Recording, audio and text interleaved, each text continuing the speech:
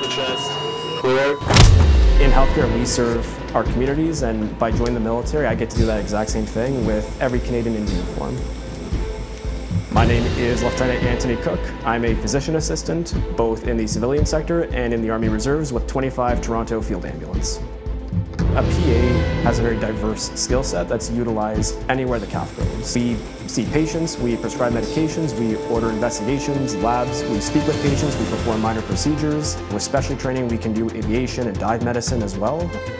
I joined the military uh, in 2015 as a medic when I was a student. Being an emergency medicine PA in the civilian sector, I felt I would be able to offer the CAF the best skills that I could to provide care to its members at home or abroad. Every patient I see in the, in the emergency room is a case that I could see with a CAF overseas.